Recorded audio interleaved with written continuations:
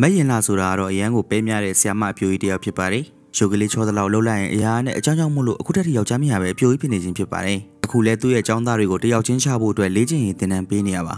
ဒါပေမဲ့လည်းចောင်းသူမလေးတယောက်ကတော့သူတယောက်တည်းနဲ့တပွဲလုံးချမယ်ဆိုပြီးစိတ်ခေါ်လိုက်ပါတယ်သူကတော့အာကာမြင့်အောင်ဖြစ်ပြီးရုပ်ကလေးချောသလောက်အရန်ကိုတိုင်းကျွမ်းတဲ့ចောင်းသူဖြစ်ပါတယ်အဲ့ဒီမှာဆီယမအပြိုကြီးရဲ့ခွင့်ပြုချက်ကိုရရနဲ့တဒန်းလုံးကိုသူအမှောက်သိပ်လိုက်ပါတယ် အဲအစ်စ်ပါသွားတော့သူပခုံးကိုလာပုတ်တဲ့ဆီယမအပြိုကြီးပါပဲကာယနီးပြဆီယမဆိုပြီးမဲ့လေကိုရန်ကတိုင်းမတက်လေတော့အပြိုကြီးတယောက်ခါနာသွားရှာပါပြီမိမလာလီအာကာမြင့်အောင်မှာသူ့လိုပဲတိုင်းရန်ကျွမ်းတဲ့ညီမငယ်အာကာမြင့်အောင်ဆိုတာရှိပါတယ်အခုလည်းညီမဖြစ်သူကတိုင်းကွက်အစ်စ်တစ်ခုတင်လာခဲ့တာမို့အမလုတ်တဲ့သူကိုစိန်ခေါ်ပြီးချမယ်လို့ပြောနေပါတယ်အမလုတ်တဲ့သူကလည်းမလောက်လေးမလောက်စားလေးဆိုတော့မချဘူးပဲပြောတာပေါ့ဒါပေမဲ့လည်းညီမလုတ်တဲ့သူကသူရမ်းကြိုက်တဲ့ fighter idol တယောက်ရဲ့ပုံပေါ်မှာ soft pin နေနဲ့ရေးထားခဲ့တာမို့ဒေါသထွက်သွားတယ်အဲ့လိုနဲ့ညီမနှကောင်အခန်းထဲခွတ်ကြတာပေါ့ သူတို့ပြန်ကိုတပြန်ခွတ်နေကြတော့အခန်းပြင်ဘက်ကနေအော်ရဲတန်ကြားလိုက်ရပါတယ်။တို့ရင်မဲ့လည်းညီမနှစ်ကောင်ကစောက်ကူးမဆိုင်တာမို့လို့အပြင်ဘက်ကနေဒေါသထွက်ပြီးတကားကိုစောင့်ကန်လိုက်တာခြေထောက်တစ်ဖက်အခန်းထဲဝင်လာခဲ့ပါတယ်။ဟဲလူကတော့အမြဲတမ်းလွဲနေတဲ့ဆီယမအပြူကြီးပါပဲ။သူတို့နှစ်ကောင်တက်နေတဲ့အတန်လေးကြောင့်အခန်းထဲကိုရောက်လာခဲ့ခြင်းဖြစ်ပါတယ်။နင်တို့နှစ်ကောင်လုံးအခုလိုစက်ကိုက်နေကြမယ်ဆိုရင်ထိုင်းနိုင်ငံကိုသွားမယ်လေးလိုက်ခရီးကိုမခေါ်ဘူးလို့ပြောလိုက်တော့ညီမနှစ်ကောင်လည်းတယောက်နဲ့တယောက်အာဝါပေးပြီးကြေးလဲရတာပေါ့။အဲ့ဒါလိုနဲ့ပဲចောင်းသားတွေအားလုံးမျှော်လင့်ဆောင်စားနေရတဲ့ထိုင်းနိုင်ငံခရီးစဉ်တွေလေးရောက်လာခဲ့တော့တယ်။ သူတို့တွေအကုန်လုံးလည်းပျော်ပျော်ပါပါ expert ကားကြီးပေါ်တက်ခဲ့ကြတယ်ပေါ့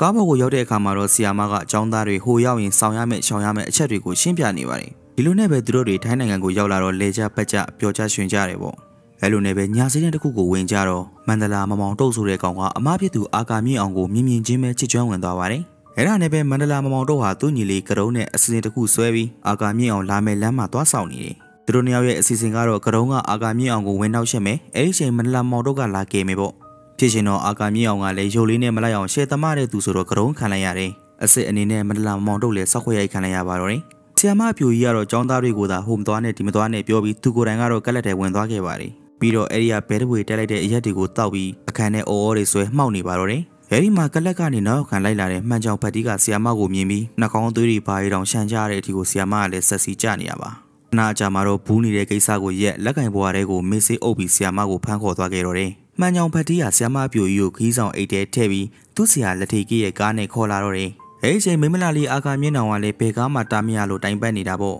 ။ဒါပေမဲ့သူတားလို့ရသွားတဲ့ကားကတော့သူ့ဆီယာမအပြိုကြီးကိုဖမ်းထည့်လာတဲ့ကားပါ။လက်ထေကစ်တို့ကလည်းအာကာမျက်နှာကိုအိမ်ထိလိုက်ဖို့ပေးပြီးသူကတော့ကျေးဇူးတွေပါတယ်တင်နေပြောလိုက်ပါသေးတယ်။အိမ်ရောက်တော့ထုံးစံတိုင်းပဲအိပ်ပျော်နေတဲ့အမားဖြစ်သူအာကာမြင့်အောင်ကိုသွားပြီးစတယ်။ တောင်းလောက်ကြတော့မှအခန်းထဲမှာဆ iam မကိုမတွေ့ရတဲ့ပြင်သွေးခွက်တွေကိုလည်းမြင်တာကြောင့်သူတို့ရဲ့ဆ iam မကိုတယောက်ယောက်ပြန်ပြီးဆွဲသွားပြီဆိုတာသိလိုက်ရပါတယ်။ပြီးတော့ဟိုတယ်က CCTV ကင်မရာတွေမှာသွားကြည့်တော့ခီးဆောင်အေဂျီနဲ့ထွက်သွားတဲ့မှန်ကြောင်ဖတ်တီးကိုတွေ့လိုက်ကြရတယ်။ဟဲ့ရှင်မန်လာမမောင်တုတ်ရဲ့ညီကတုံးကလည်းအာကာမြင့်အောင်စီခိုးချောင်ခိုးဝက်နဲ့လာချောင်းတာမို့ညီမငယ်အာကာမြင့်အောင်နဲ့တွေ့ပြီးအိမ်သားတွေကိုဝင်ပြေးတယ်။ တည်တဲ့အတိုင်းအာကာမြင့်အောင်ဆိုတဲ့ကောင်မလေးကလည်းမလွယ်ကြောလေးဆိုတော့အိမ်သားတွေကိုတလုံးမတလုံးသူလိုက်ဖွင့်တာပေါ့သူထင်တာကတော့ကရုံးကသူ့ဆီယာမကိုဖမ်းသွားတဲ့အဖွဲတွေကနဲ့အထူတူပဲလို့ထင်တာပါဒါပေမဲ့လည်းကရုံးကိုသူမမိလိုက်ပါဘူးအမပြစ်သူအာကာမြင့်အောင်ကရဲတွေကိုခေါ်လာပြီးအခန်းကိုပြတယ်ရဲတွေကလည်းထုံးစံတိုင်းစောက်သုံးမကြတဲ့ကောင်တွေဆိုတော့ဒီကလေးမနှစ်ကောင်ပေါက်တကရတွေချောက်ပြောနေလို့ထင်သွားတယ်ပြီးတော့သူတို့တွေသူစကားကိုနားမလဲကိုစကားသူနားမလဲနဲ့တော်တော်လေးကိုတိုင်ပတ်နေခဲ့ကြတာပေါ့လက်ထိတ်ကစ်တို့လူဆိုးဖွဲ့ကကောင်မလေးတွေကိုဖမ်းပြီးကြောက်ကတ်ထုတ်ရောင်းစားတဲ့ဖွဲ့ပါ ဆ iam ပြိုကြီးကတော့သူတို့ရဲ့အချုပ်ခန်းထဲကိုရောက်နေခဲ့ပါပြီဒီလူစိုးကောင်တွေကကောင်းမလေးတွေကိုဖမ်းနေဓာတ်ပုံရိုက်ပြီးအွန်လိုင်းပေါ်မှာတင်ရောင်းစားကြတာပါ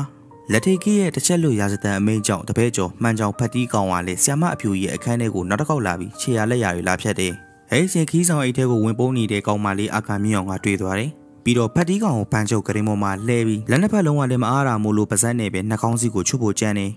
အဲဒီချိန်ညီမငယ်အာကာမြင့်အောင်အခန်းထဲဝင်လာပြီးသူ့အမတော့မဟုတ်တာလုပ်နေပြီလို့ထင်သွားတယ် အဲ့မှာအမလုပ်တဲ့သူကငါ့ကိုလာကူအောင်လို့ပြောတာကိုဟင်းအင်းသတိမဆန်းချင်ဘူးဆိုပြီးသူ့အမကိုဝင်ဆွဲလေတော့ဟိုဖတ်တီးကောင်လွတ်သွားပါလေရောဖတ်တီးကောင်ကိုလည်းမိမသွားခဲ့ပါဘူးအဲ့ဒီချိန်ဆ iam ရဲ့ဖုန်းထဲကတဲလွန်စာတစ်ခုတော့ရနိုင်တယ်လို့ပြောနေတော့အလစ်တော်သမားနဲ့တွေ့လို့ဖုန်းမှာပါသွားတယ်အဲ့လိုနဲ့ညီမနှစ်ကောင်လုံးလည်းအလစ်တော်သမားနောက်ကိုလိုက်ကြတာပေါ့တကယ်တော့အလစ်တော်သမားဆိုတာမန္တလာမောင်တို့ရဲ့ညီလေးကရုံးဖြစ်ပါတယ်ပြီးတော့ချစ်ရနေကြိုပြီးကရုံးကိုဖမ်းထားတဲ့ပုံဟီရိုကြီးဝင်လို့တယ် ဒါပေမဲ့လည်းအာကာမြောင်ကတော့ကရုံရောဟီရိုနှစ်ကောင်လုံးကိုဖနှောက်နဲ့ပေါက်လိုက်ပါတယ်။ကျမရဲ့ဖုန်းကလည်းပတ်စဝတ်မသိလေတော့ဟိုရှောင်းနေဒီရှောင်းနေနဲ့လော့ကျသွားတယ်။လော့ကျသွားတော့မန်လာမောင်တို့လည်းကျွန်တော်လော့ဖြီပေးမယ်လို့ပြောနေတော့ဘရုံသုံးကားနဲ့ပြေးလာတဲ့ညီမငယ်အာကာမြေနောင်ကကရုံကိုဝင်ကန်တယ်။သူတို့လေးယောက်လုံးမန်လာမောင်တို့ရဲ့အိမ်မှာဖုန်းကိုလော့သွားပြီကြတော့ကျမရဲ့ဖုန်းထဲကနေကလပ်မှမြင်ခဲ့တဲ့လက်ထိတ်ကြီးရဲ့ပုံကိုသွားတွေ့တယ်။အဲဒီကနေဆ iam မသွားခဲ့တဲ့ကလပ်ကိုတဲလွန်စာရပြီးသူတို့ကလပ်ကိုလိုက်ခဲ့ကြတယ်။ ဒီလိုနဲ့ညီမနှစ်ယောက်ကကလပ်မှာဝင်ထွန်းနေရင်နဲ့အကုန်လုံးကိုလိုက်ကြည့်တယ်။အဲဒါလိုလိုက်ကြည့်နေရင်နဲ့မှမှန်ချောင်ဖတ်တီးကောင်နဲ့စုံပြီးဖတ်တီးကောင်လည်းရှေ့ကနေခွေးပြေးဝပြေးပြေးတာပေါ့။ရှေ့မှာအသင်းဆောင်နေတဲ့ကရုံးကဖတ်တီးကိုဝင်တိုက်ပြီးသူတို့ဖမ်းခေါ်ခဲ့ကြတော့တယ်။အဲ့ဒီမှာဖတ်တီကိုနှိပ်စက်ရင်းနဲ့သူတို့တီးခဲ့ရတာက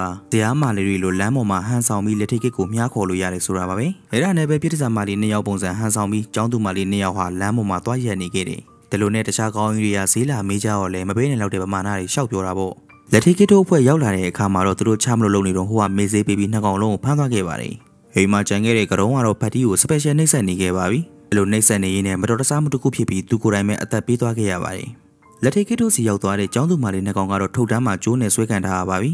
အရင်ဆုံးအိယာကနိုးလာတဲ့အာကာမြင့်နောင်ကသူ့ရဲ့လေပင်ကပလဲကုန်းလေးတွေကိုပစံနဲ့ကိုက်ပြီးအမားဖြစ်သူကိုလှမ်းနှိုးဖို့လုပ်တယ်။အဲဒါကိုမြင်သွားတဲ့လူစိုးကောင်တစ်ကောင်လည်းအနားကပ်လာတာမို့အမောက်သိပ်လိုက်ပြီးသူ့ရဲ့အမလည်းနိုးလာခဲ့ပါပြီ။ အမားဖြစ်သူကဆရာမကြီးဆိုတော့သူကိုယ်တိုင်ထုတ်တန်းပေါ်ကိုဂျွန်းတို့တက်ပြီးကြိုးဖြုတ်တယ်။ပြီးတော့သူ့ရဲ့ညီမကိုဖြုတ်ပေးပြီးဆရာမကိုလိုက်ရှာကြတယ်။သူတို့နှစ်ယောက်လုံးကလူစိုးကောင်တွေကိုတကောင်ချင်းလိုက်ဖြုတ်ရင်းနဲ့ဆရာမဖြစ်သူကိုတစ်တာပုံတစ်ခုတည်းထည့်ထားကြောင်းသိလိုက်ရတော့အနောက်ကနေလိုက်သွားခဲ့တာပေါ့။အဲဒီမှာလူစိုးကောင်အုပ်လိုက်ကြီးနဲ့တွေ့ပြီးနှစ်ယောက်သားစပယ်ရှယ်တမခဲ့ကြပါသေးတယ်။ထေကေရောက်လာတဲ့အခါမှာတော့တစ်တာကိုအမြန်ယူပြီးမန္တလာမောင်တုတ်ရဲ့ကားနဲ့ထွက်ပြေးခဲ့ကြတယ်။ဒါပေမဲ့လည်းတစ်တာကိုဖွင့်ကြည့်လိုက်တော့သူတို့ဆီယာမမဟုတ်ဘဲနဲ့ဖတ်တီးကောင်ဖြစ်လို့နေပါတယ်။ ကိုရောင်းစီကိုရဲတွေကိုခေါ်လာခဲ့ရင်လည်းအကုန်လုံးကထွက်ပြေးသွားခဲ့ရင်မို့စောက်သုံးမကြတဲ့ရဲတွေကတော့ဒီကလေးမနှက်ကောင်ထပ်ပြီးပြဿနာရှာကြပြန်ပြီလို့ထင်ပါတယ်။ညီမနှက်ကောင်ကလည်းတွေးရီပူအချင်းချင်းတွေမတဲကြတော့ဘဲနဲ့အပြန်လန်ခွတ်ကြသေးတယ်။မန္တလာမောင်တို့အိမ်ကိုပြောင်းတဲ့အခါမှာတော့သူ့ညီလေးကရုံးကသေးနေခဲ့ပါပြီ။သူ့ညီတည်တယ်လို့ဖတ်တီးလဲသေးရမယ်ဆိုပြီးဓာတ်နဲ့ရွယ်နေတော့ညီမနှက်ကောင်ဝင်လာခဲ့တာမို့မသက်ဖြစ်လိုက်ပါဘူး။ဖတ်တီးကောင်ကလည်းအမြင်မဲ့ရခဲ့ပြီမို့လက်ထိတ်ကစ်တို့ဘယ်မှာရှိလဲဆိုတာကိုပြောပြလိုက်ပါတယ်။ဒီလိုနဲ့သုံးကောင်သားလက်ထိတ်ကစ်တို့စီလိုက်သွားပြီးလူဆိုးကောင်တွေကိုတမတယ်။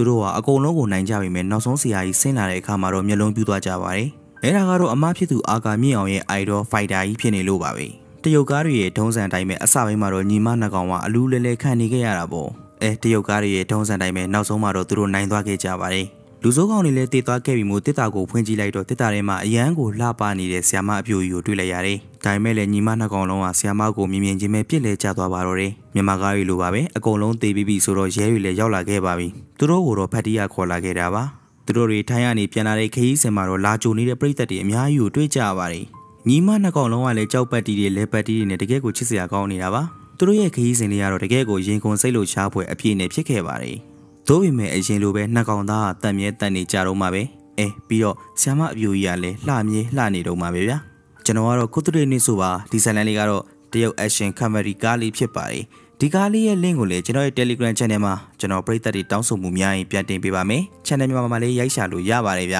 ။အားလုံးပဲ channel လေးကို subscribe နဲ့ notification လေးမနှိပ်ရသေးဘူးဆိုရင်တော့နှိပ်ပေးခဲ့ကြပါဦး။ကျွန်တော်တို့နောက်ထပ်ဗီဒီယိုတွေအများကြီးနဲ့ပြန်တွေ့ကြတော့ဗျာအားလုံးပဲ see you ပါနော်ဘာလို့ဆိုင်ရတာချခဲ့ရတယ်ဆိုရင် သူ့ရဲ့အပြေးလိုက်ရမှာဒီ